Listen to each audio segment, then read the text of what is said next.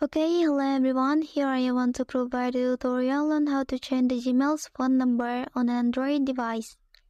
Here I am using an Infinix Note 30 NFC device, but this step can be applied to all types of Androids.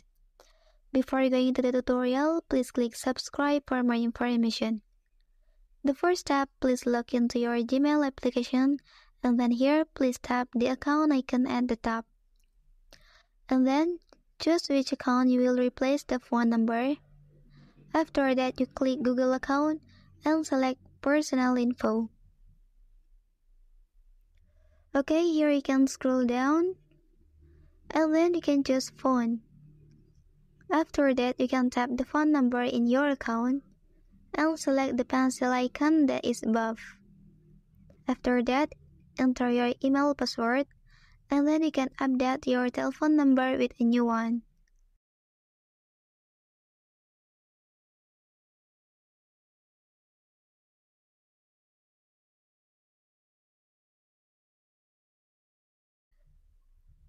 And then the telephone number in your email account was successfully replaced.